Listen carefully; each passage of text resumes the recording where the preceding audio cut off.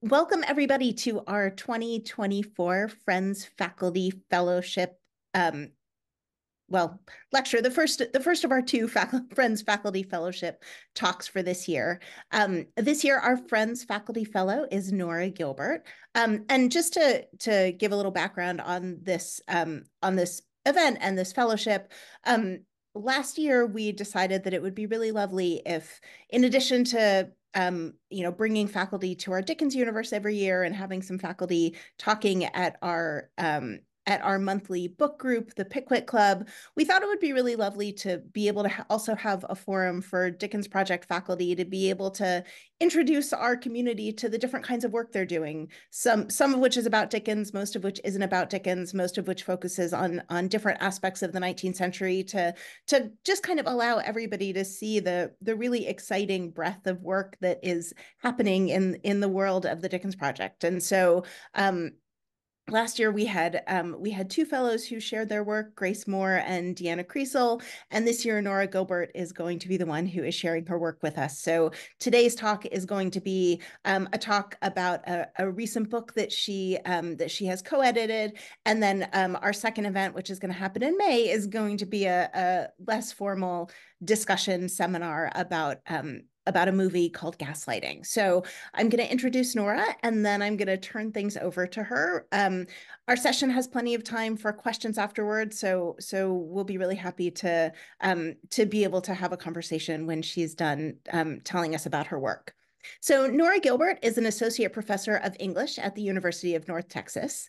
She's the author of Better Left Unsaid, Victorian Novels, Hays Code Films, and the Benefits of Censorship, and also the book Gone Girls, 1684 to 1901. Flights of Feminist Resistance in the 18th and 19th century British novel. Um, and that just came out last summer. And she's also the author of a number of other essays on Victorian literature and classical Hollywood film. Since 2017, she served as the editor of the journal Studies in the Novel. Um, she's an excellent karaokeer, and she's going to be talking. I mean, these are things people should know about you. Um, and she's going to be talking us today about um, an edited collection called Victorian Gaslighting. So um, let's turn things over to Nora. And I just realized, Nora, we didn't talk about how you wanted to do the Q and A at the end. Um, would you prefer? Um, usually, I think it's probably easiest if we have people use the raise hand function, yeah, and then I can call on people, or you can call on people. That sounds great. Yeah, yeah. Okay. Yeah, I just won't be able to read stuff in the um, the chat while I'm sharing my screen, which I'm going to try to do right now. And let's see if it's as successful as it was before. So what I'm trying to do is get this so that I can see it. You can see the whole thing, but I can see my Word document. So can you see the whole thing?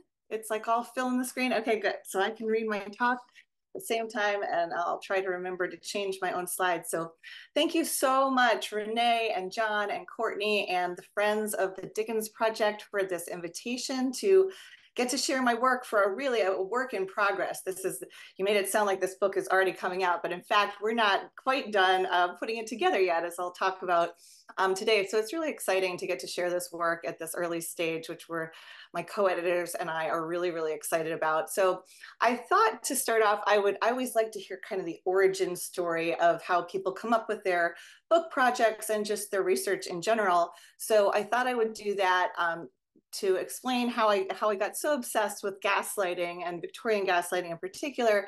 And I thought I'd share with you a little bit more about both of the books that Renee just mentioned really quickly because they kind of together got me to where I am right now and what I'm interested in. So my first book was called Better Left Unsaid: Victorian Novels, Hays Code Films, and the Benefits of Censorship. And this was really my dissertation that I turned into a book. But as a graduate student, I knew that I was equally in love with Victorian literature and with uh, classical Hollywood film. I, in particular, am interested in kind of 1930s to early 1960s film. And I wanted to think of a project that would put these two um, fields into conversation with each other. And I realized that I'm very interested in movies that were made during the production code or the Hays Code when there was a lot of uh, censorship, but I don't find these to be movies that are, you know, overly uh, dry or dull or sexless or boring. I find them wonderful and really subversive and have a fabulous energy to them. And the same is how I feel about Victorian literature. So even though uh, Victorian literature was not censored in the same way as the production code, where it was a very explicit set, set of policies, I still think that a lot of um, the same principles were at play, kind of the censorship of morality, of middle class morality of the of the marketplace. So I wrote this book that kind of talked about how these two different kinds of censorship, how artists kind of find ways to slip things through the cracks and to be kind of subversive and have these undercurrents of kind of uh, rebellion and resistance in them. And so my second book, I wanted, I was first thinking I would also try to write a book that was half on film and half on Victorian literature. But as I started writing this book about runaway women, and um, it was going to be about Victorian literature and film, I realized there are just so many wonderful novels to talk about that go back further than the Victorian era.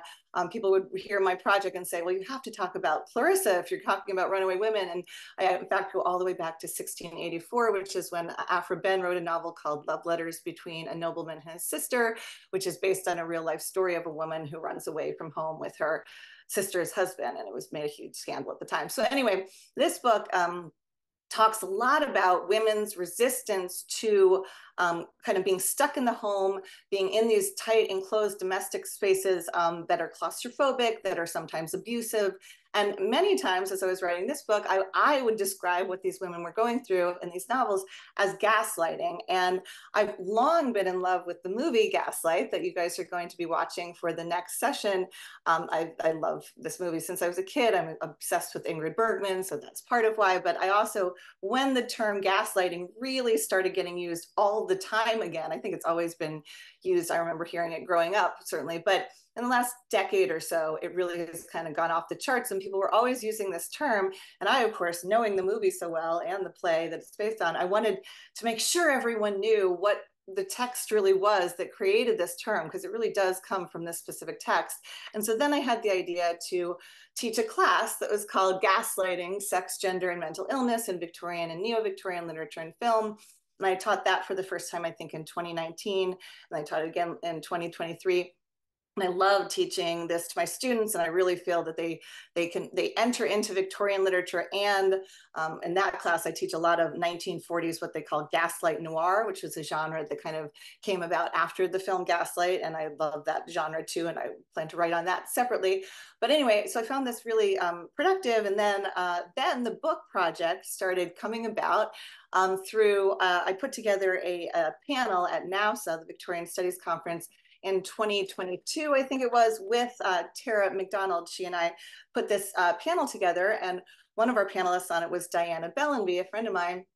And after we gave this uh, panel at, at the conference, we, it just went so well, and people in the audience were just like, oh, this is something we want to think more about. And we did too. So we decided to uh, put together a CFP for a collection, and uh, we wound up gathering together 14 different essays by fabulous contributors all, and we're really excited about this. And we, I guess it was about a year ago now, last May, we uh, took our book proposal to SUNY Press, which has a fabulous um, series in the long 19th century uh, that's edited by Pamela Gilbert.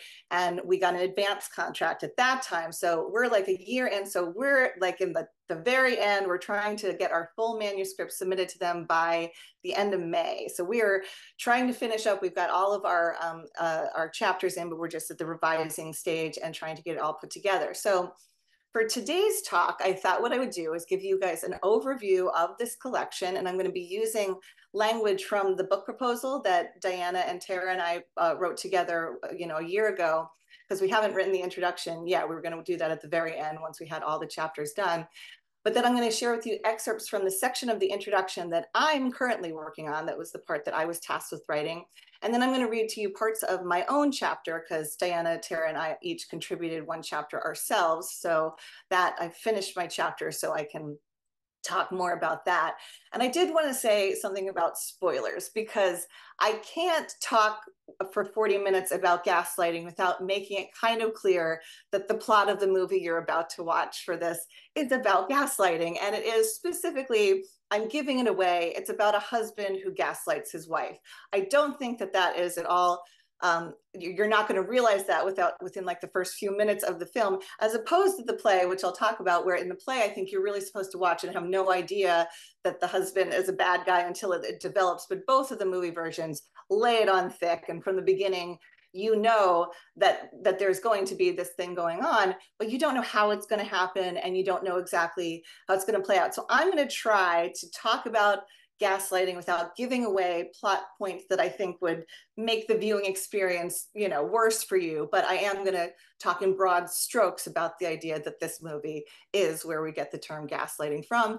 And I'm assuming that everybody probably has a pretty good sense of what gaslighting is, but these days the way it tends to get uh, defined is that it's somebody who has more power than somebody else in one way or another is trying to manipulate that person and kind of deceive that person into doubting their own sense of reality, who they are, and making them feel like they're quote losing their mind. That's kind of how we think about gaslighting today.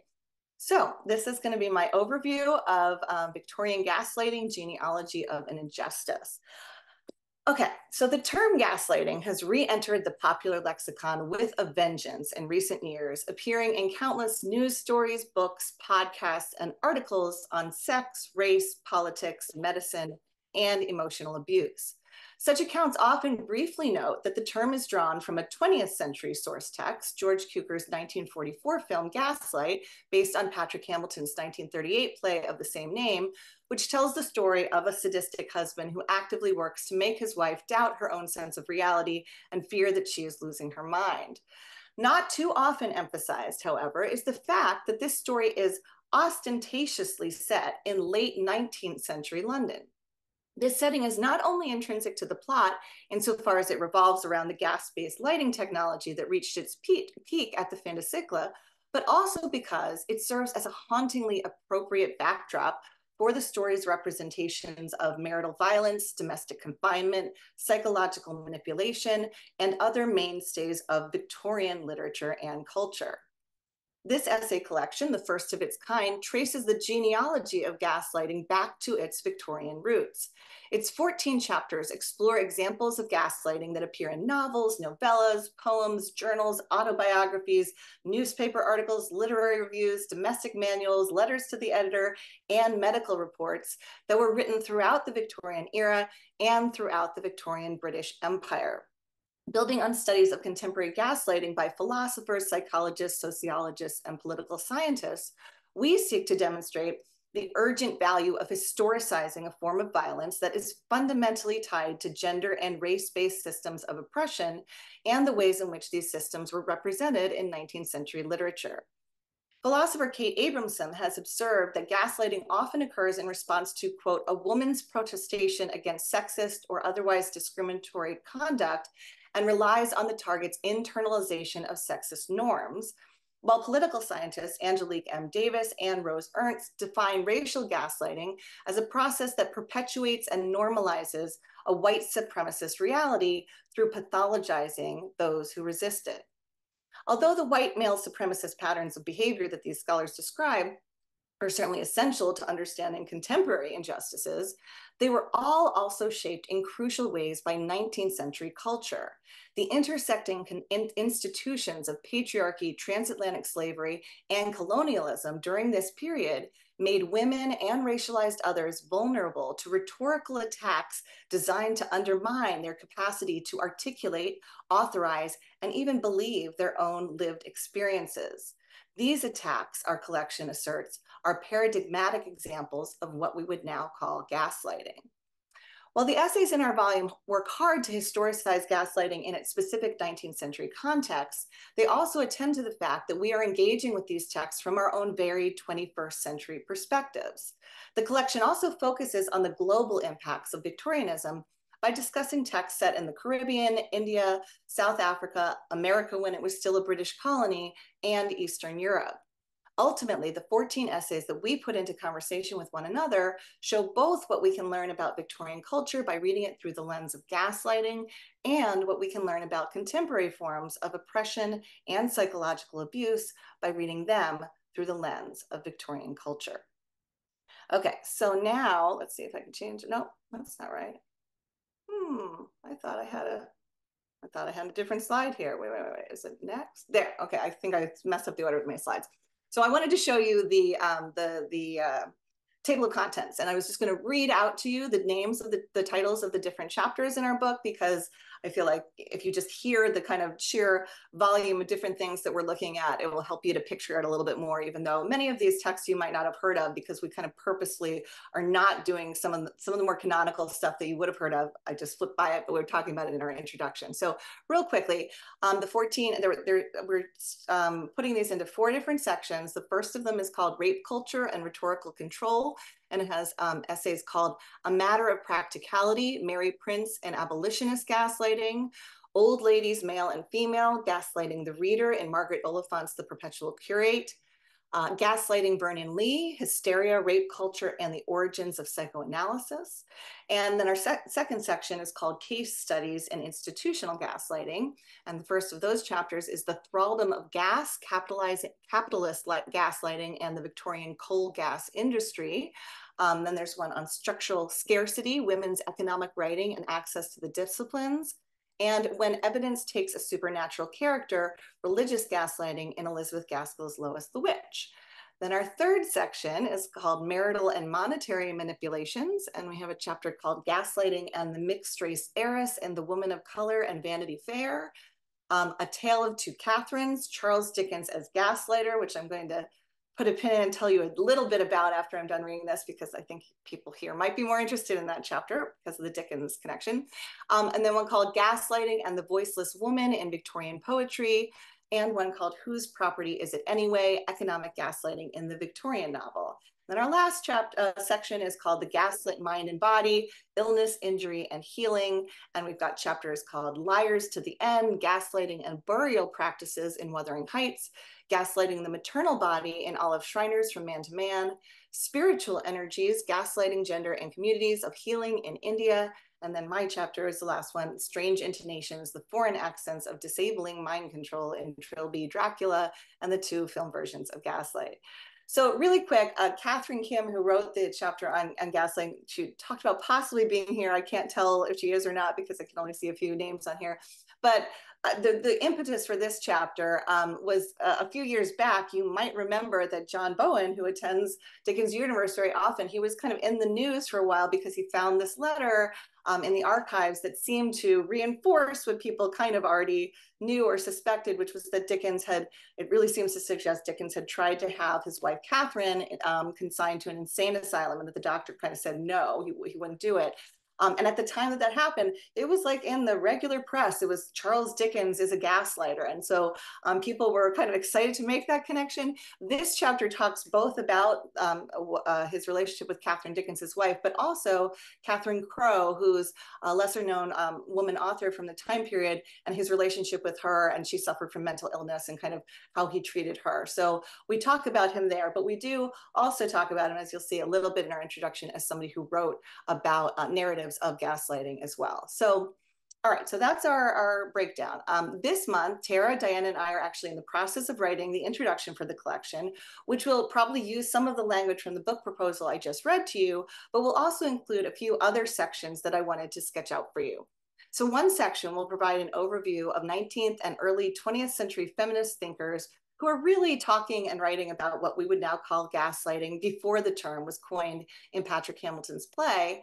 And one section will provide an overview of some of the most famous Victorian literary texts whose plots are pretty overtly proto-gaslighty in nature. So the four literary texts that we're going to talk about are, now I have to go backwards to my slide and take away, whoop, I'm not going to surprise, I'm backwards surprising you. Charlotte Bronte's Jane Eyre is the first that we're talking about, which is definitely concerned with issues of marital abuse and mental illness and confinement and romantic manipulation and deception, all of which are so central to the gaslighting plot. And then we'll be talking about uh, Wilkie Collins's The Woman in White, which is probably the most famous Victorian wrongful consignment in an insane asylum plot. And we'll be talking about Charlotte Perkins Gilman's short story, The Yellow Wallpaper, which, even though it's American, not British, and we're trying mainly to stick to British texts, is just such a well known narrative of marital and medical gaslighting, a key component of which, again, is confinement in the home, causing a woman to lose her grasp on reality and lose her mind. And then the fourth text, which most, most of you will appreciate, is um, Dickens's Little Dorrit, in particular, the subplot about Mrs. Flintwinch's dreams, where, wherein Flintwinch tries to convince Affery through both psychological and physical abuse that she's only imagining all the ominous and nefarious things that, of course, really are going on around her in Mrs. Clennam's haunted house as she thinks of it. So we think of that subplot as being very, very gaslighty. Um, okay, so let's see. Now I'm out of order with my slides. Where was I? Um, those are the two sections of the introduction that my co-editors, Diana and Tara, are going to be taking the lead on writing. But the section that I'm in charge of, which I just finished writing up this past week, is a section that lays out the more complicated than you might expect history of the various stage and screen versions of Gaslight that jointly contribute to our sense of what gaslighting is today. So I'm going to read you about half of that section as a way of setting up the movie that you're going to be watching prior to our next session. But the second half of that uh, really talks about the plot differences between the different versions. So I'm not going to share that half of it with you today in the name of avoiding plot spoilers, but I could uh, talk about it more next time if you are interested. So um, let's see, the, the, the section is called Not One But Many Gaslights. Simply put, to understand gaslighting, one must understand gaslight. But even though many articles and books on the subject of gaslighting do implicitly acknowledge this to be true by making an at least cursory nod to the term's textual origin, the text to which they almost always allude is the Hollywood film version of Gaslight from 1944, when in fact that film was the fourth successful iteration of the Gaslight narrative to be produced in the UK and the US over a six year period. It is especially egregious when these articles and books make no mention of the original 1938 play, Gaslight, Two Words, by Patrick Hamilton, since it is Hamilton who must be credited with conceiving of the story that captures the form of psychological abuse that we now call gaslighting so disturbingly, gut wrenchingly well. Patrick Hamilton um, is perhaps best known today for his two very successful stage plays that were made into Hollywood movies, so Gaslight and also Rope. Um, though he, along with many critics of his day, considered his novels, The Midnight Bell, Hangover Square, The Slaves of Solitude, etc., to be his greater artistic achievements. Critical acclaim on multiple fronts notwithstanding, Hamilton never achieved the same kind of name recognition that many of his equally lauded contemporaries did. In the words of one of his biographers, he continues to be, quote, an eerie non presence in modern British literary history. Gaslight is, it should be noted, somewhat of an outlier in Hamilton's oeuvre insofar as its, its primary sympathies lie with a victimized woman. In his novels, it is typically an innocent young man who is being driven to a breakdown or even murder by a calculating, attractive young woman who doesn't return his infatuation, as Miranda Miller has summarized. The semi autobiographical nature of these novels is widely acknowledged, with Nigel Jones even going so far as to say, quote, it is fortunate that Patrick Hamilton had the talent to sublimate his darker desires and transmute them into some of the 20th century's most highly regarded dramas and fiction. If he had not, he himself could have become one of the criminals, con artists, and murderers who people his works, end quote. But Nigel Jones also points out another clear biographical referent for the male, violent male characters of Hamilton's fictional cosmos, especially Gaslight. Quote, Jack Manningham's abuse of Bella, that's the name of the, the husband and the wife in the play version, uh, his abuse of Bella has become emblematic for feminists of patriarchy within the family. Patrick Hamilton knew whereof he wrote, since he sprang from just such a family. His father, Bernard Hamilton, a pretentious novelist known in the family as the Old Devil, was a bullying alcoholic who held his wife Nellie and their children in thrall with pseudo military discipline. Importantly, though, in Gaslight, Hamilton doesn't choose to write about patriarchal domestic abuse from a young son's, i.e., his own point of view. He chooses to write about it from the vantage point of the bullied, sadistically disciplined wife. And it was this vantage point, this woman's story, that resonated so strongly with audiences on both sides of the Atlantic in the four major productions of Gaslight that were staged and filmed over the course of World War II. So I made a little chart um, that can help you visualize the timeline and some of the differences between these four major productions, but I'll also walk you through them verbally. So the first production of Gaslight premiered at the Richmond Theatre in London on December 5th, 1938, then relocated to the Apollo Theatre and then the Savoy on May 22nd, 1939, where its initial run came to an end after a total of 141 performances. Within a year, the first film adaptation of the play had been commissioned, written, and produced, directed by Thorold Dickinson, penned by A.R. Rawlinson and Bridget Boland, and starring Anton Walbrook and Diane Wynyard, Gaslight was released by British National Films on June 25, 1940. Next came the American adaptations. First, a short lived Los Angeles stage production in the spring of 1941 that was seen by an intrigued Vincent Price, who immediately went about securing the rights so that he could star in a Broadway production himself, renamed Angel Street, by the end of the same year. In spite of this production's initial unlucky timing, with Pearl Harbor Day decimating the public's desire for theatrical entertainment just two days after its premiere on December 5th, Angel Street soon rebounded and wound up becoming one of the longest running non musical Broadway plays of all time, logging in a total of 1,295 performances before its closing night on December 30th, 1944. Impressed by the critical and popular successes of these three consecutive versions of Hamilton's tale, Hollywood soon came calling, with its largest and most prestigious studio, MGM, purchasing the remake rights from British National in 1942. MGM's version, directed by George Cukor, adapted by John Van Druten, Walter Reisch, and John Balderston, and starring Ingrid Bergman, Charles Boyer, and a scene-stealing Angela Lansbury in her very first screen role, premiered on May 4th, 1944, and became the most decorated version of them all. Nominated for Academy Awards for Best Picture, Best Actor, Best Supporting Actress, Best Screenplay, Best Art Direction, Best Cinematography, and Best Actress, it won for the latter two and continues to be considered one of the greatest psychological thrillers in American film history.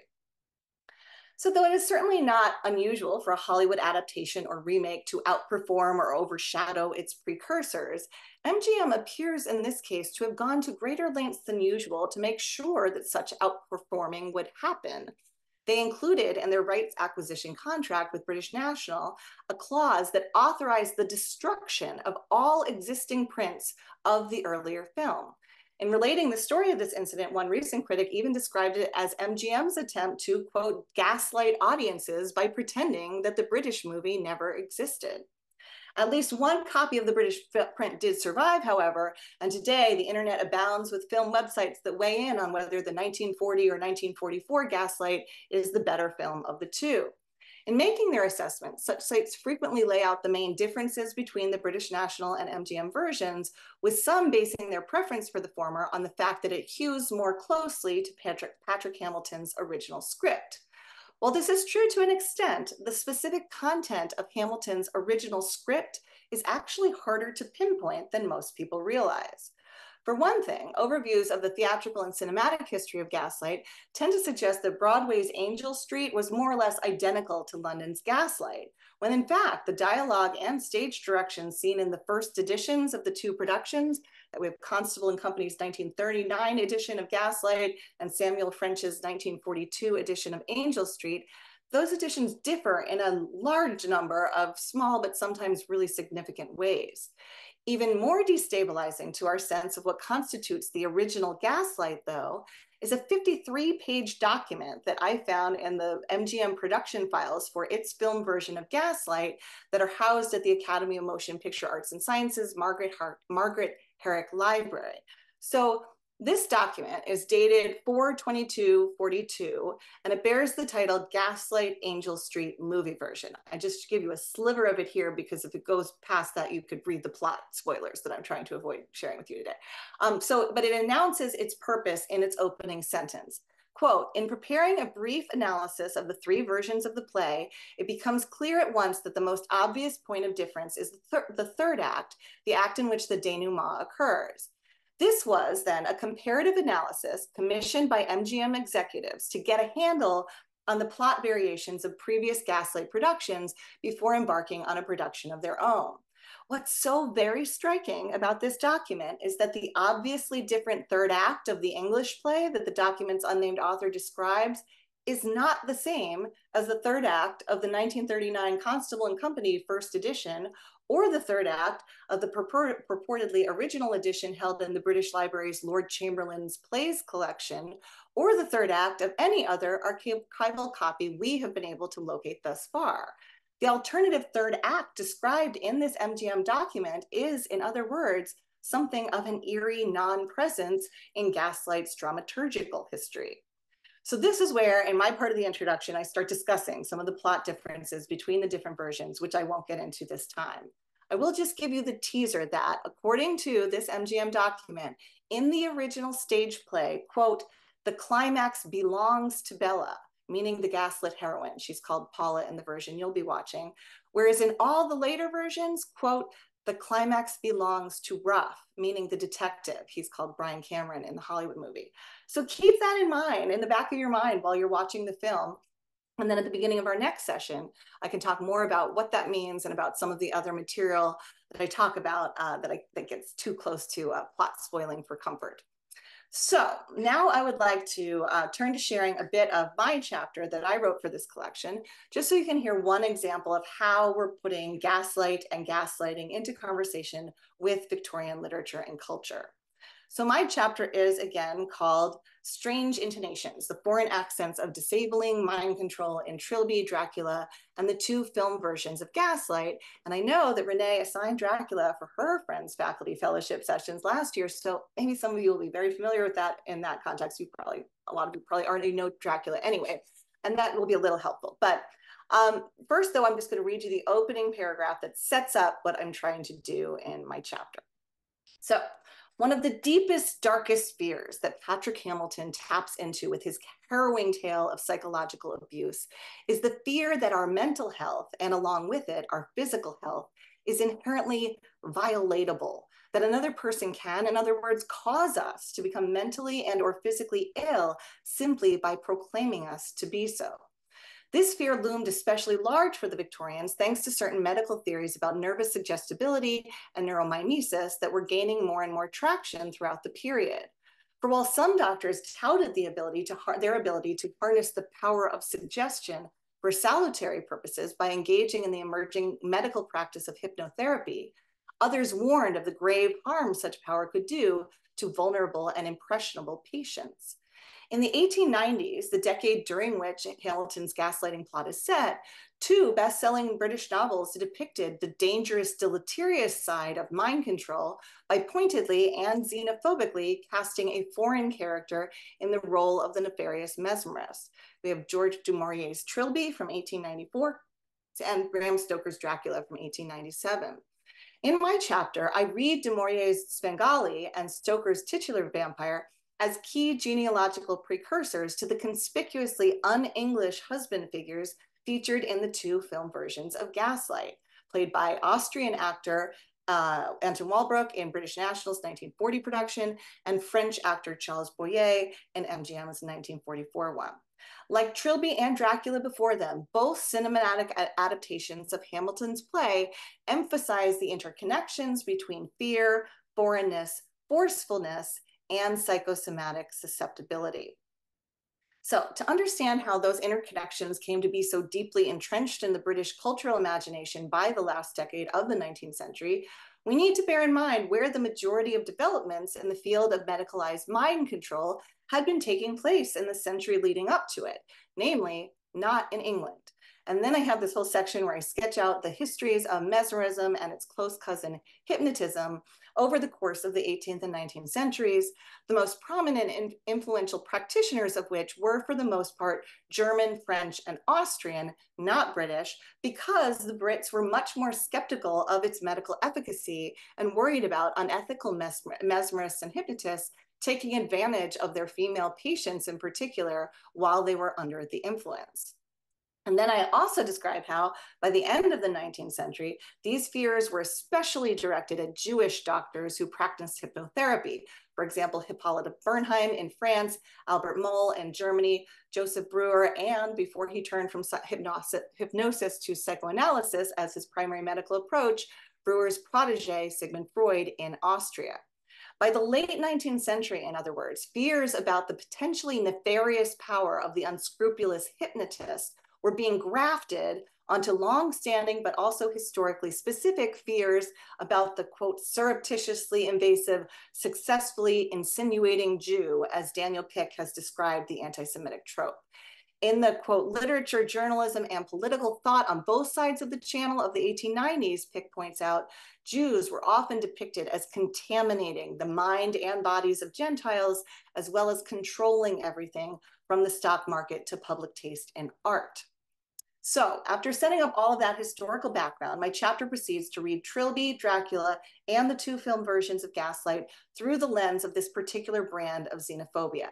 It's most obvious in Trilby, which many of you may not have read, but you may be more familiar with the basic plot of it than you realize. The term Svengali, which these days is used to mean a person who exercises a controlling or mesmeric influence on another, frequently for some sinister purpose, per the OED, that, that name comes from Trilby, which was one of the biggest bestsellers of the late Victorian era. In that novel, Svengali is a Jewish musician with Austrian and Polish roots who's living in Paris and winds up hypnotizing a young woman named Trilby, who's a bohemian young woman of Irish, Scottish, and English descent. Svengali at first hypnotizes Trilby to help her with the pain in the eyes that she's suffering from, but eventually he does it for his own sinister purposes, which are partially to transform her into the greatest opera singer of all time. Somehow she's able to sing magnificently when she's under his hypnotic spell, but is completely tone deaf when she's not. But also, it is strongly implied so that he can take advantage of her sexually while she is thus spellbound. This novel is, to be clear, ragingly anti Semitic in its portrayal of the invasive hypnotist. Svengali is described as tawdry and dirty, grossly impertinent, about as bad as they make him. And a lot of the vitriol is specifically leveled at his awful foreign accent. We're told, for example, that, quote, he speaks that he speaks fluent French, but that it sounds much more ghastly because it's pronounced with a Hebrew German accent and uttered in his hoarse, rasping, nasal, throaty rook's caw, his big yellow teeth baring themselves in a mongrel canine snarl, his heavy upper eyelids drooping over his insolent black eyes. So couldn't be more insulting and animalizing and all these things to its Jewish character. Um, so in this part of my chapter, I lay out the ways in which the novel Trilby directly plays into Victorian fears about the threat, the sexual threat of hypnotic practices that I just mentioned, including importantly, the xenophobic, and in this case, specifically anti-Semitic dynamic of many such fears. Then in my next section, I draw parallels between Trilby and Dracula, which, as probably a lot of you are familiar with, is also about a pointedly non Christian Eastern European foreigner who uses his powers of hypnotism, as Jonathan Harker specifically refers to them, to assault and control the minds of young, innocent English women like Lucy and Mina. Uh, Dracula, Dracula, doesn't have the exaggeratedly foreign accent than Svengali does. Jonathan Harker specifically notes that he speaks, quote, excellent English, but with a strange intonation, which is where I got my title for this chapter from. But that doesn't mean that he's portrayed any less xenophobically. As Dirk de la, Bastida has pointed out, Dracula's honing of his linguistic skills as a speaker of English serves as, quote, a strategy of camouflage and infiltration. Linguistic assimilation enables him to get behind the front line and blend in. This makes him doubly dangerous. There is, though, one character in Dracula who butchers the English language just as much as Svengali does in Trilby, the Dutch Dr. Van Helsing, who also winds up practicing hypnotism on Mina. But crucially, he does so at Mina's behest, which both grants her a level of autonomy in her, in her hypnotizing plot far greater than what Trilby had experienced in hers, and also serves to mark Van Helsing as the good hypnotist, just as he's depicted as the good foreigner by dint of being Christian and Western European, in sharp contrast to non Christian Eastern European monstrous Dracula. So, because Trilby and Dracula were two of the most widely read and culturally influential novels of the late 19th century, they played a not insignificant role in shaping the way late Victorians thought about mesmerism, monstrousness, and certain kinds of foreignness. In my chapter's last section, I trace some of the connections between Trilby and Dracula and Gaslight. For even though what the husband does to the wife in Gaslight is not technically mesmerism or hypnotism, and even though the issue of foreignness does not factor into Patrick Hamilton's original gaslighting plot in any way, What the husband does to the wife is a form of manipulative, debilitating mind control, just as mesmerism and hypnotism are portrayed to be in Trilby and Dracula. And both of the 1940s film adaptations do insert the issue of foreignness into the gaslighting proceedings by way of their casting choices. So to be clear, in the original stage version, the gaslighting husband is an Englishman, which means that the kind of abuse being depicted is painted as a pointedly internal domestic, by which I mean both contained within the home and contained within the nation, affair. But the dynamics of the gaslighting plot really shift, I argue, when Austrian half Jewish actor Anton Walbrook plays the husband in the British national film, and when French actor Charles Boyer plays the part in the MGM one. And I did just want to interject here that if any of you want to watch both the British and the American film versions be before our next Zoom session, you're more than welcome to do so. The British version is streamable on YouTube for free right now. You can just search for Gaslight 1940 and it should come right up. But you don't have to re watch both of them. You can just do the, the Hollywood one, uh, and we will definitely concentrate our discussion on that film. But they both are fascinating in their own right, so feel free to do a double header. Um, at any rate, what's interesting about the British film is that it explicitly discusses the fact that Paul Mallen, as his name is changed to in that film, is a foreigner and kind of repeatedly suggests that that's really bad and probably contributing heavily to his psychopathic monstrousness.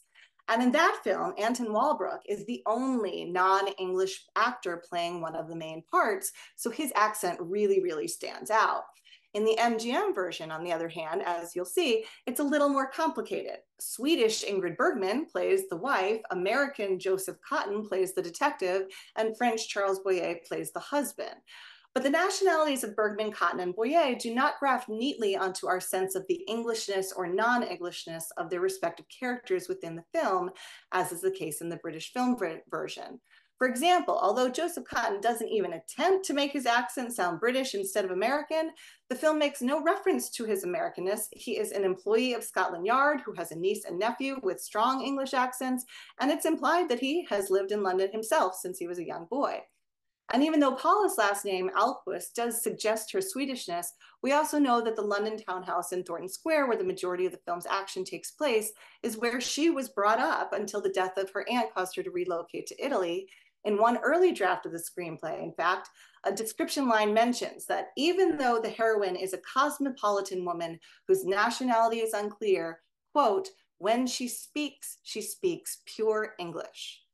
Um, so Boyer's character, on the other hand, is certainly meant to feel impurely foreign and not totally in a French way. Paul meets him in Italy, eventually learns that he used to live in Prague, and also the same screenplay draft that mentions the pureness of Paula's English speaking voice actually specifies that the character is Polish. Um, quote, it says, an accompanist, Boyer, Boyer, Polish and 40-ish, is accompanying Paula on the piano, it reads. What this means is that even after Boyer, the French lover, as he was known throughout his Hollywood career, had been cast in the role of the gaslighting husband, the filmmaking powers that be wanted his character to retain some of the more Eastern European mystique with which Anton Walbrook had imbued it in the British film adaptation. I also wanted to point out that after seeing an early cut of the film, David O. Selznick, who had loaned out Ingrid Bergman and Joseph Cotten to MGM for the production and was therefore invested in its success, he made clear which particular Eastern European figure he thought Boyer's character should be evoking in audiences' minds. As he wrote in a memo to Cukor, quote, the picture is in desperate need of at least two more scenes in which we see the husband as a lover, in which we see both his tenderness and also the Svengali-like sex hold that he has over her. Boyer is at his best in such scenes. The rave reviews that Boyer wound up receiving for his performance in the final cut of the film proved the shrewdness of Selznick's recommendation. Reviews in both the New York Times and Daily Variety specifically praised Boyer for his hypnotic performance, while more recent critics have specifically noted its Svengalian flair. And I was going to share this is an Italian movie poster of Gaslight. This scene doesn't actually happen in the movie, but it really makes it look like he's hypnotizing her with this uh, match. And this is not quite how how light will work in the in, in, the movie, but you'll see that lighting matters a whole lot in this movie. But I just want to leave with this image.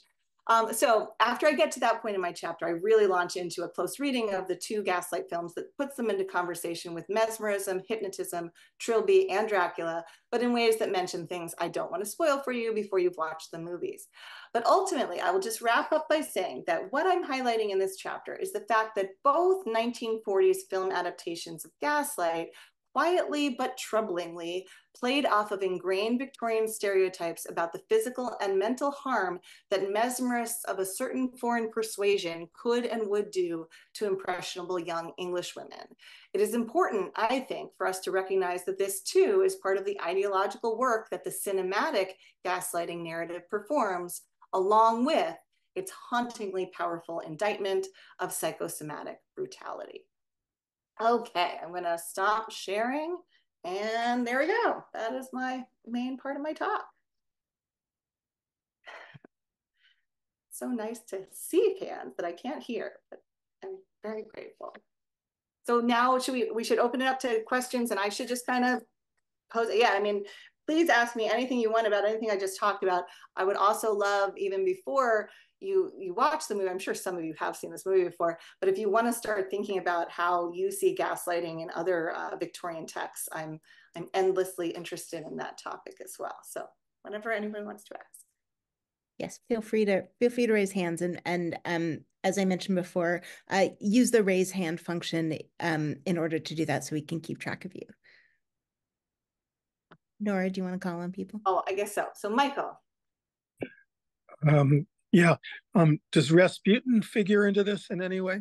Well, not in the way that I'm, uh, not in my chapter, but I certainly could see, you know, the way that that, I mean, there's so many, if we go outside of British culture, you can go into, I mean, there's just, it's just everywhere, but I do think that's a very good, you know, reference point and for sure, but I don't, I don't bring it into my chapter just because I'm trying to do many things, but I do think that that is a, a, a powerful thing to think about in that history too. Yeah and how it relates to all this. Yeah, but I don't have much more to say because I haven't put it in, but thank you for that. Oh, and I want to call you Emed, but I should call you Elizabeth. Everyone calls her Emed. Emed is fine in this context. Um, I thank you so much, Nora, for that wonderful talk. It's so exciting um, to to hear all this coming together.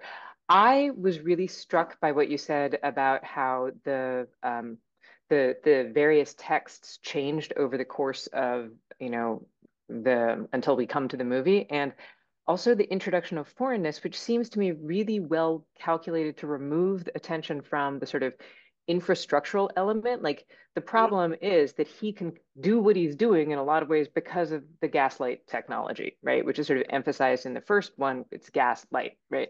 And if. I recall correctly, it's because of the fluctuations in the flow of gas. So yeah. you know how I obsessed I am with sort of city infrastructure and the way yeah. that innovations in infrastructure offer new plot possibilities. And I'm just wondering if there are other ways that we can think of in which infrastructural developments, like removing the focus from it's the infrastructure that enables this to it's the foreignness that's the danger and mm-hmm. displacing that danger outwards. I'm just sort of wondering like what other ways can we think of in which the very shape of, of how people are living as, as cities grow more dense, as people grow more mm-hmm. crowded, that offer even more opportunities for gaslighting with something other than gaslights, right? Like, what are the other technologies of gaslighting that become um, maybe even more prevalent? Eh, you know, I know that you guys address this in your in your collection today. Like, how are we seeing technologies of gaslighting now? Um, mm-hmm. oh, rather than I, yeah. No, I have so many things I want to respond to that. I'm trying to figure out where to start. I mean, I feel like I'm cheating because I want to tell you about more that happens in our collection that aren't things that I actually wrote. Like, for example, we have a chapter um, written by Grace Franklin um, that's about the gas coal industry. And so when it was being created in the 19th century, there's just such fabulous corollary that they really were trying to convince mostly working class people who are either working in the, you know, in the, um, to, to near all the dangerous new technologies, or they were living in houses that were right near the, the, what you're talking about, the city infrastructure where the gas pipelines were going and everything. And so even for, I mean, this is still going on. We can, I just said gas pipeline, you're, you're thinking about contemporary events. But even in the 19th century, they were saying, we're freaked out by this. We think it's going to blow up, basically. We were having all this gas. There's fires could happen very easily. And the gas coal industry had all these pamphlets were saying they're just being so paranoid and it's all in their head. And look at these, uh, you know, nervous Nellies kind of thing and really um, undermining them in ways that would be called gaslighting. So there's a real clear connection to that.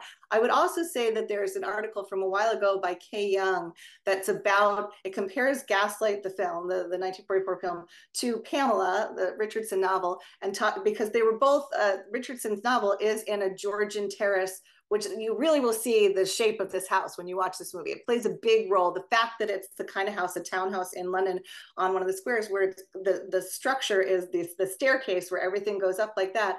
And so she does an architectural kind of analysis comparing these two things because the movie version really, it matters the structure because you'll see the, the attic is going to play a role in all that. But so just the verticality of kind of urban living that's something that seems to I, I don't see you anymore Ahmed. you went away so i'm looking at just but in general i want to respond to what you're saying and saying that that's a, a version of how um, the city structures can change the way you you can create these forms of claustrophobic um, abuse because I think claustrophobia. I'm I'm very claustrophobic myself, and so I really identify with the sense of the movie is so much part of how he makes her think she's going crazy. I won't name, but it has to do with material objects. But part of it is just convincing her to stay in this particularly claustrophobically uh, structured house and feeling like everybody's right on top of each other. I think that really has a lot to do with the uh, kind of psychological dynamics of it.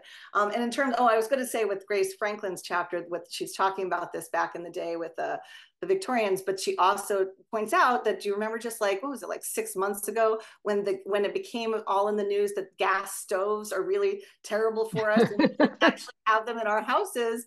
And the oh my gosh the industry was like shut that down make everyone say how great they love their cooking because as the gas light and, and we know that this is actually bad for our health bad for the environment but they really shut it down and that conversation kind of went away. And they really were pretty successful in doing the same maneuvers that um, that chapter focuses on capitalist gaslighting and how you can um, uh, structure the way you talk about what you sell in these ways. So anyway, yeah, that's a lot that I wanted to say all in response to your wonderful question. So um, thank I think, you so much. Oh, thank you. I don't see you, but you're welcome. And Patricia, I, that's who I see next in my hands. I hope that's right. I don't know if that's the right order, but. Oh, I can't hear you. You're muted. Oh, you're muted. Can you say that again? Can you hear me? I am smack in the middle of central London. Uh huh. Nice. Uh, and I have lived here for the vast majority of my life. Mm-hmm. Although have also lived in Central Europe. Prague mm-hmm. is not Eastern Europe. It is no, true, true, true. You're right, but they do they, they do say I so sorry, I can't say, but, but you're right. One must be a little more accurate. You're right. You're very right. Apart from that, um, gaslighting for most of us in London is simply people going around in the 19th, late 19th, and early 20th century lighting the lamps. Mm-hmm we did not consider it in the same way that the phrase is used. Right. Right. In either of the films or indeed in the books. And having said that, there were certainly instances in 19th century Victorian literature where the, how will I put it, things went on under the gas lights, mm-hmm. but it wasn't used as a phrase. Or at right. least I haven't found it in most of the 19th century literature that I have read. Yeah. So I am finding this fascinating. Yeah, yeah. Because I have seen neither of the films. Mm-hmm. I suppose I might watch them. but I am really rather familiar with 19th century Victorian literature. Yeah. I'll leave it there.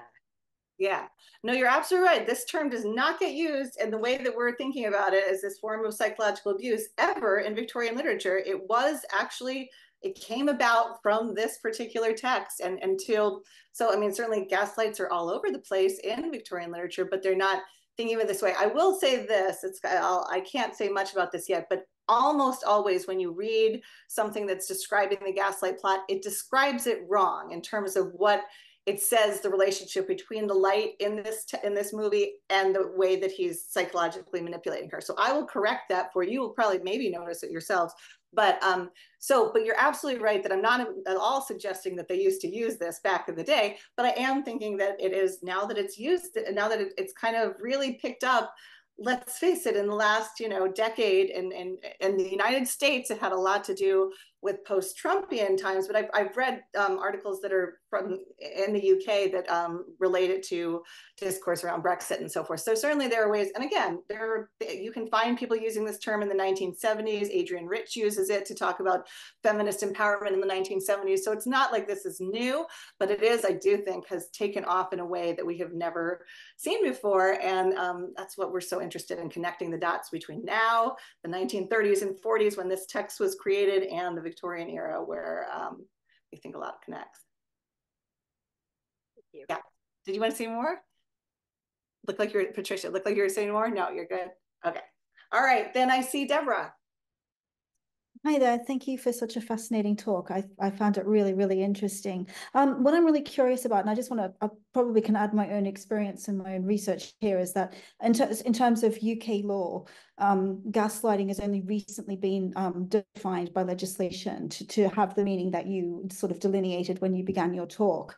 Um, so I find that really interesting. But I was just wondering, in terms of what you've done within the book, whether you actually go back and look at incidences of what we now call gaslighting within the Victorian novel, and if you compare that to what was going on in when we had advances in the law that actually were starting to give rights to women. So if you think about the Dickens example, um, when he was trying to get his wife put away in, in you know, a madhouse. Um, th there was the new divorce law coming in, which was giving greater rights to married women. So I was just wondering if there's a correlation between these incidences portrayed within the Victorian novel and what was going on within the law. Yes, I want to talk about this so much more, and I'm trying to think what are the things I can say based on what I don't want to give away from the film or not, because we have, for example, a chapter of our book that's very much about women's property rights, and because you'll see and I can talk about it's different in all the different gaslight texts how they treat the property, who where whether the woman has the money or not, how she how she get how she inherits how it's very much about that. The plot is very much about jewels and property and housing and so forth. So the laws as they're changing. And what's interesting about the timeline of this play is that we found, I think the earliest version we found it specifies that it takes place in 1893, but then that gets wiped out and it just says in the end of the Victorian era sometime.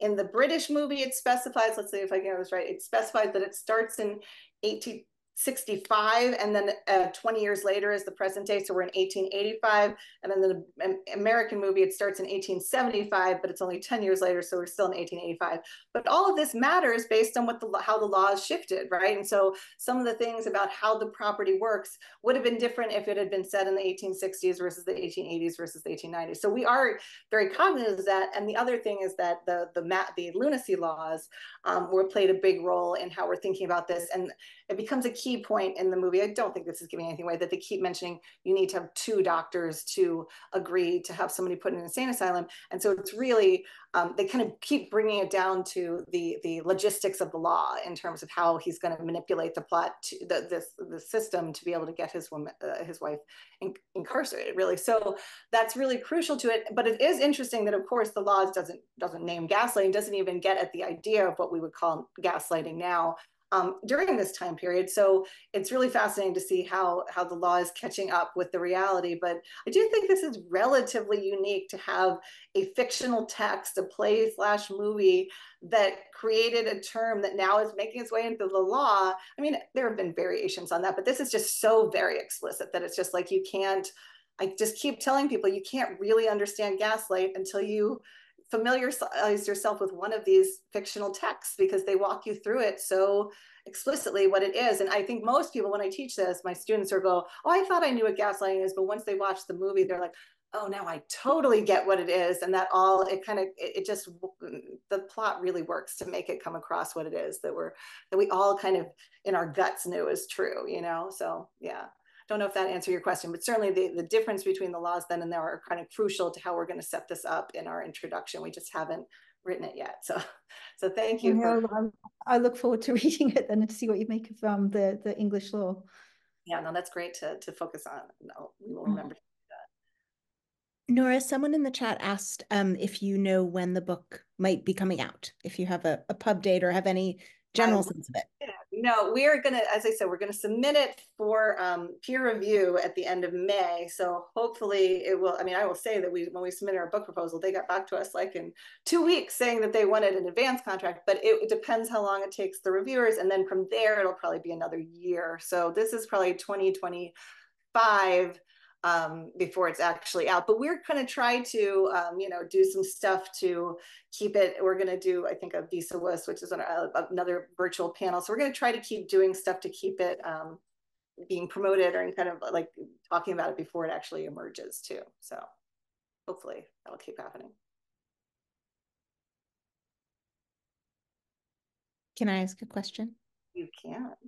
Um, so I I love the way that you're putting Trilby and Dracula and the Gaslight movies together and um it made me think and so I haven't I will admit I haven't I haven't watched Gaslight yet so I don't I don't know what the deal is but um you know uh, so you know Dracula is a novel that deals explicitly in the world of the supernatural like you know Dracula's powers are you know are not simply that he you know he can hypnotize but you know his his hypnotic powers come from his um, you know, his vampiric nature. And Trilby, it's not exactly supernatural, but but there is something, you know, there is something not natural about Svengali. Like there, it, you know, there there are suggestions in that text that um that you know that something something beyond simply you know the science of mind control is at work and so i'm just wondering like how to think about the relationship between between the the kind of supernatural overtones, undertones,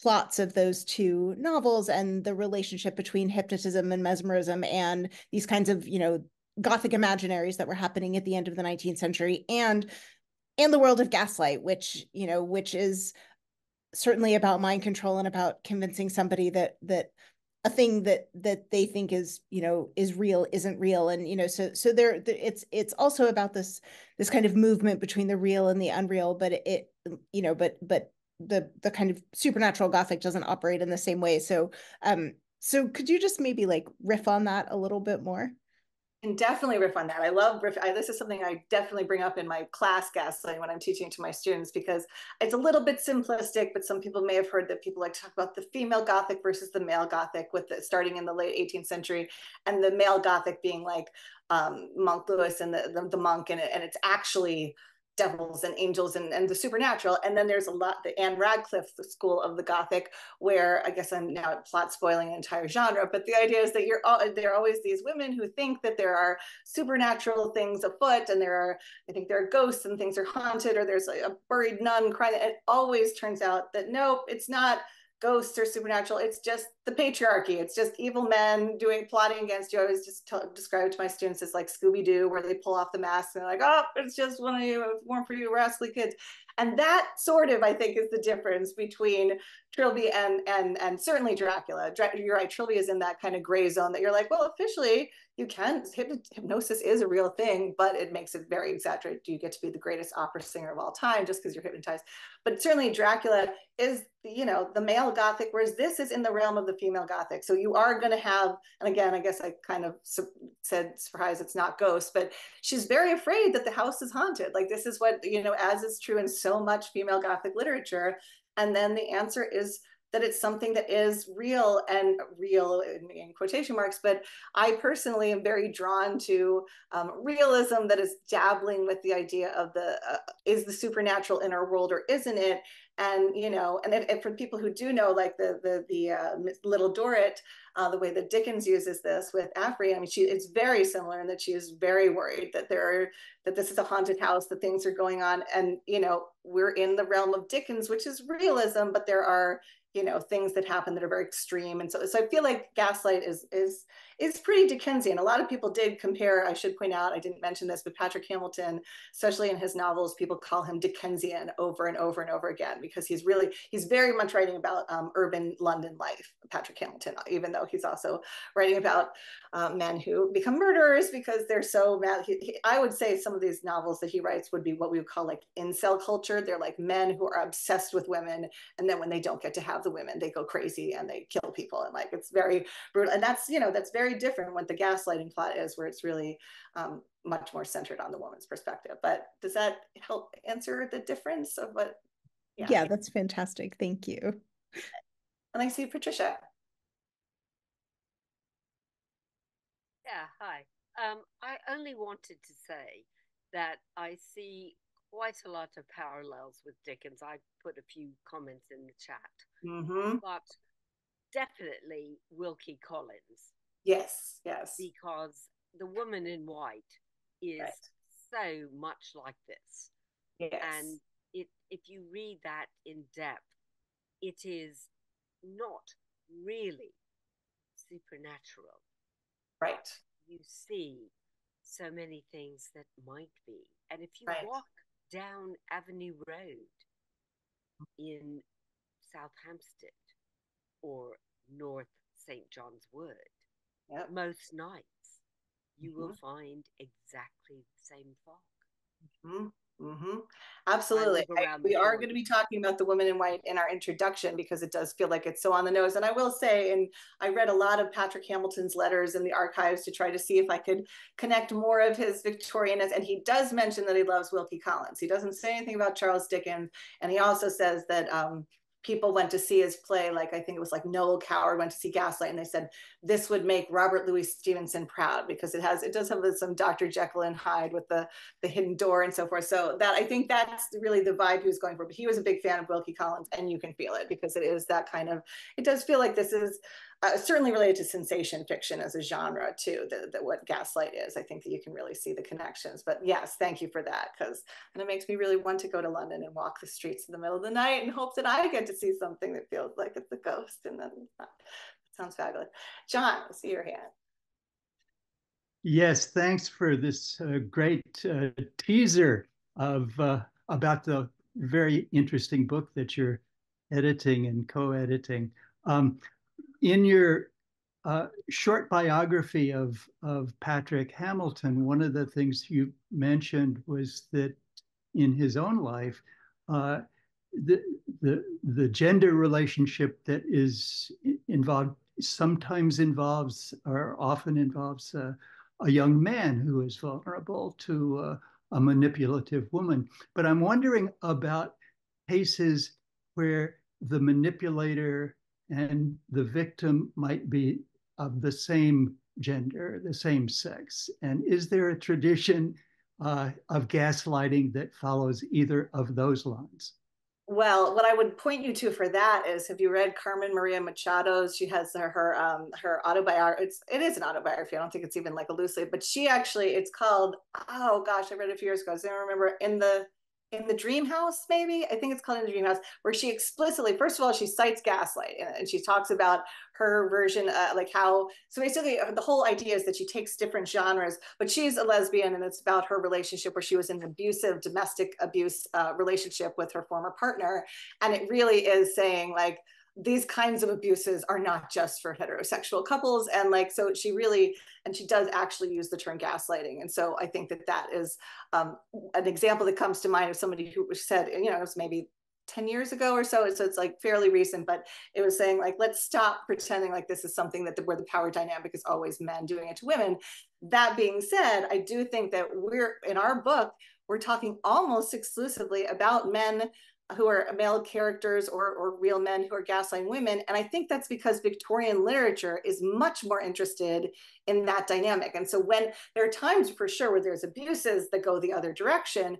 but would we call them gaslighting? And, and I think it's, we were hard pressed to think of examples in Victorian literature where what, and, and I will say that when Patrick Hamilton, when he wrote those books where it's the, the poor victimized man, I wouldn't call those gaslighting books. Those are definitely like, he loses his mind, his male characters kind of go crazy, but they do so because they're so it's uh, you know the power structure is so different that it's not like these women are trying to drive them crazy or doing things it's just that they're so madly in love with them and they can't have them so it makes them go mad. So i wouldn't say that he kind of does different gendered variations on the gaslighting theme but i do think that you're absolutely right to point out that yes in in real life and in and in literature it is there when when we have same-sex gaslighting but i just think that it's relatively rare. I think in the Victorian era, they were just, they used this particular type of manipulation to show kind of gendered power structures over and over and over again. So that's what we really are mainly seeing when we're, when we're looking back on it.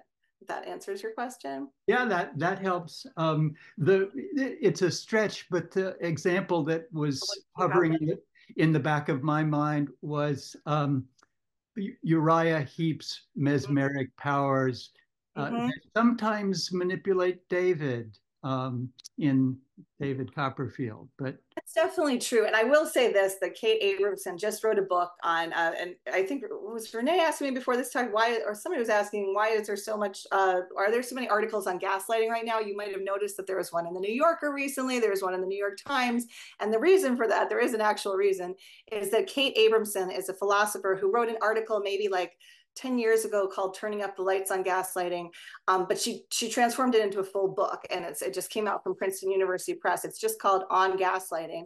And in that she gets very what, what reminded me what you just said john was that she's very concerned with people applying the term gaslighting to when it's quote just manipulation or it's just being mesmeric. And so she's like it needs to have certain layers of you're you're manipulating someone specifically. I don't know if i totally agree with her. I think we can use it how we find it used I, I understand that you can overuse a term and it loses its meaning but i also think that some of the examples that she gives in her book of things that she wouldn't call gaslighting i kind of would. So but but so I, i'm not as uh, persnickety perhaps about that as she is but i think she would say in that case like that feels like it's not quite it certainly has it's all it's all gaslight adjacent shall we say but is it actually that he's um, using his power to try to destabilize um, another character's sense of reality to the point where that person will lose their their mind you know what i mean? So um, yeah it's it's definitely um you could open it up. I kind of would love it if somebody wrote further books on this and did things like more thinking about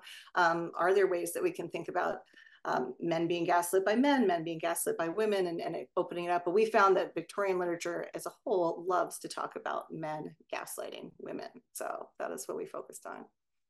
Yeah. Someone in the chat, um, Julia Stern brought up um, Daphne du Maurier's Rebecca as another example of a um, yep.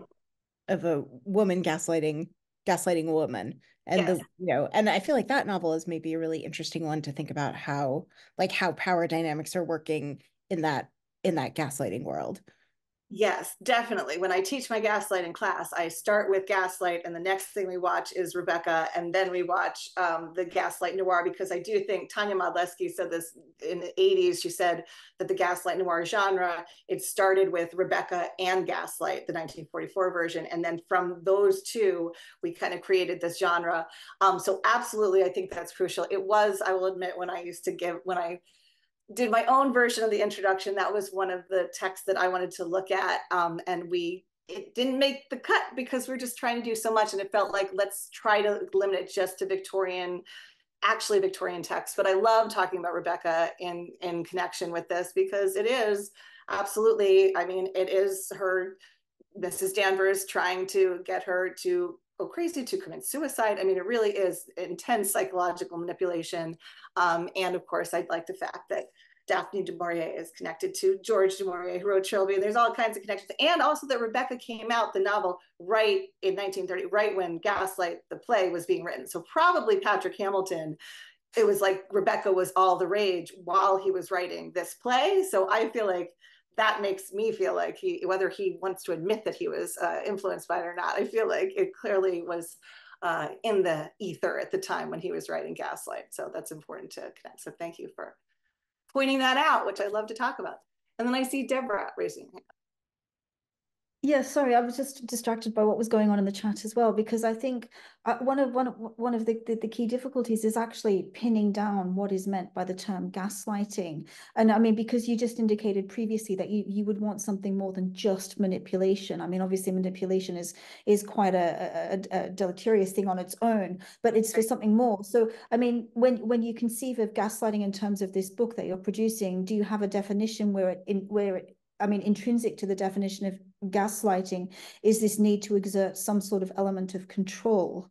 Um, yeah. So more than just manipulation, more than just deception, but th this questioning of sanity as part of a coercive approach to controlling a partner within an intimate relationship, for example. Absolutely, that is that is crucial to it. And I feel like again today it was hard. I didn't want to get part of what our answer is the way we define gaslighting is you have to know this full text. And so we need to spell out some of the dynamics the, the subtler dynamics of the text. Um, certainly what you're saying is 100% there that it's he's trying to control her for a very specific reason. But you but we want it to be that like you know you can the the gaslighting text is a you know it's a two hour long play or movie. There's so many different layers to it. And to us those are all different elements of gaslighting that don't get picked up in just a one sentence definition of the term. Do you know what i mean? And so we feel like it, eh, what what's so cool about this is that you really have to give a whole play's worth or film's worth to understand what this thing is.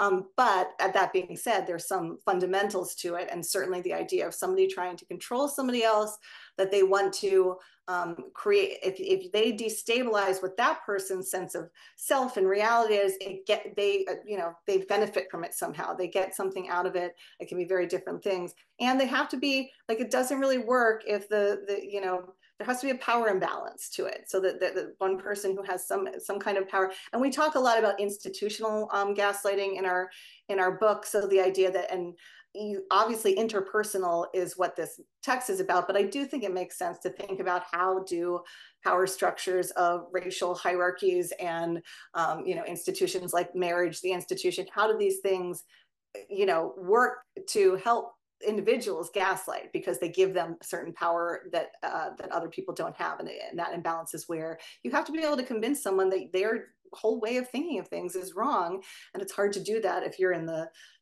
disempowered positions you know what i mean? So but yeah i think that it's all uh, we're, i don't think we're going to come up with a one sentence definition through our book. We're going to kind of say it's complicated and and read the whole uh, watch the whole movie or read the whole play so that you can and frankly know all four of the ones that we're talking about so that you can fully understand it. Yeah. Are there things i'm terrible about reading the chat and, and talking at the same time. Is there anything else that i'm supposed to be answering or anything. Well, Blair just mentioned a movie um, called She Wolf of London. That, um, that Blair, I don't know. Would you would you mind talking a little bit more about that movie because I, that sounds like an amazing movie that I would like to know more about. Uh, yeah, starring Angela Lansbury, I believe, and um, in it she is. Uh, I don't know if the term gaslit is correct. I, I not not very good at that kind of thing. But anyhow, she is half convinced by her housekeeper. There's a I'm giving it all away into believing that she is a werewolf, and there are a series of murders. It takes place in a foggy London town in the 1880s, 1890s. Mm-hmm. Um, and it's uh, a lot of fun to watch. And uh, anyway, it's a case. I find it interesting that uh, when Hollywood decided that they were going to make a movie about somebody being gaslit, that they set it in the uh, late 19th century. Yeah. Um, anyway, just just another thought. No, thank you so much. I have not seen this movie and I absolutely love Angela Lansbury and I feel kind of heartbroken that I've never seen it, but now I'm totally going to go out and watch it because I love all movies that I would call that a neo-Victorian movie. What do you know when it's from? Is it from the 18 I mean 1950s, 60s when I yes, and I think it's Angela Lansbury. It's uh, 1946 according uh, am I Renee am I correct about the actress? Is it um It looks like it stars June Lockhart and Oh. Don Porter. Oh, June Lockhart. Okay, I'm sorry. My, Oh, my- don't apologize. I need to see this movie. That's uh, I, I wasn't in it just for the Angela Lansbury. Everything about that, I, I really wanted, and I don't want to know whether it turns out that she's a werewolf or not. Let me be surprised. okay, it's, it's fun. You'll enjoy it. Yeah, yeah. And I would say in terms of the um the the setting of 19th century London, in this case, Gaslight the play is definitely set in this time period, so they don't change it for the movies. But the um, Hangover Square that Patrick Hamilton, one of his probably his most famous novel, that's set in contemporary London. It was from the uh, 1940 or so, and they set that also in the Victorian because they were like, let's cash in on the Gaslight noir genre. So once Gaslight, the Hollywood movie, was so successful, Hollywood did do just what you're talking about. They would just put all these movies, let it set. There was some quote from a critic said, "Oh, if we're going to have a spooky thriller, we have to set it in gaslit London because that's all anybody wants to watch anymore." So it really became kind of like a, a temporary craze, and right in the post World War II moment. And so um, part of what I want to do in a different article is really think about that dynamic. And it, on almost all of them have to do with mental illness. Sometimes it's the the man who is going crazy, sometimes the woman, but they're all like kind of these the 19th century will drive you insane stories over and over again. Yeah. But thank you for that.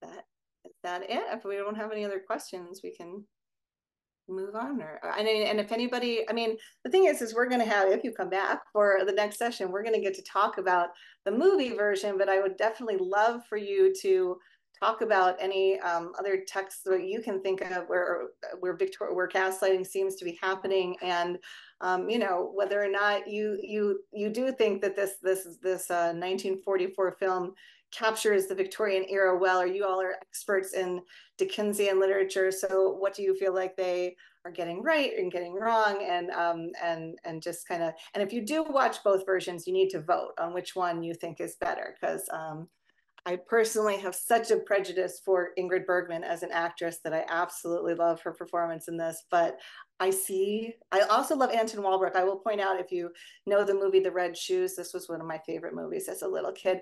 And he is the Svengali figure in The Red Shoes is uh, Anton Walbrook, who is the, the uh, husband in the British version. So he's by far, I think, the best part of the British version. But um, yeah, you could watch both if you are so inclined. And Nora, do you know um if if any folks want to want to read the play, like if anyone wants to do, you Oh. know, a deep dive, is it um is it available online? Sort of. Uh, so I don't know about probably, but here's the thing that I warn you is that you won't get the original version, right? Is that you will a lot of times they put Angel Street. We've now done this, all this trying to track them down. You'll get close, and I mean, you probably will care less than we do. But some of the things, and I'll tell you what they are next time, where they really changed the plot.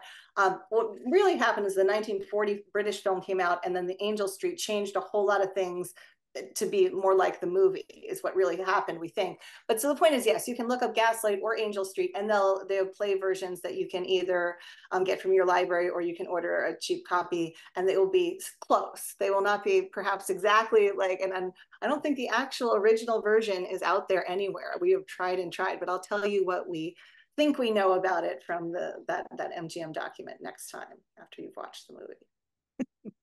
Awesome. I can't wait to hear like is it book history if it's a play? Just No, the no. the, the, the theater history. Yeah, no, it's really it's really interesting and a little frustrating. We were so hoping we would uncover this original edition, and we have not been able to do it. It really seems to have vanished, which is disappointing.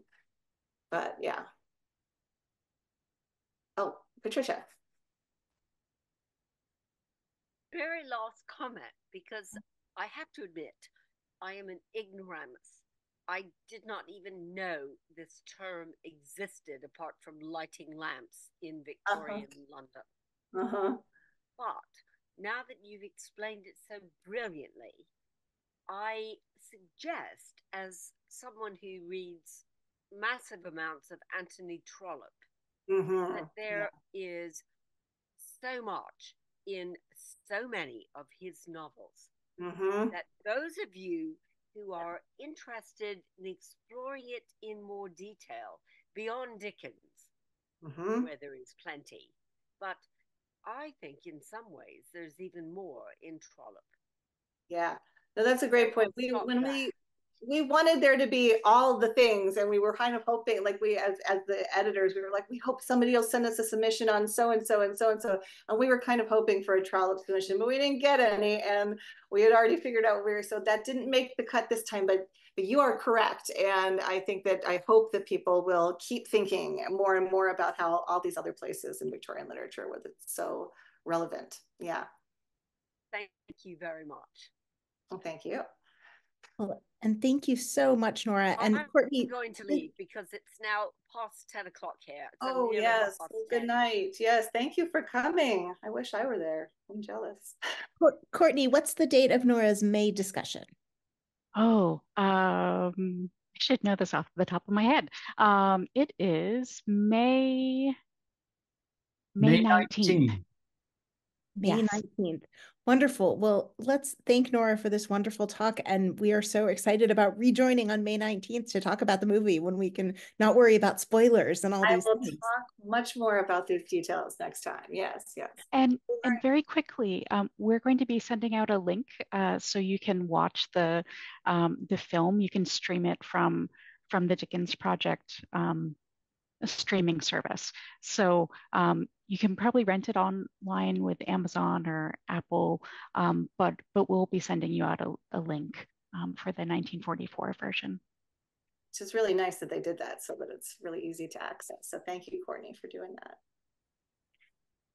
Thank you so much, Nora, and everybody enjoy the rest of your Sunday. Okay, bye.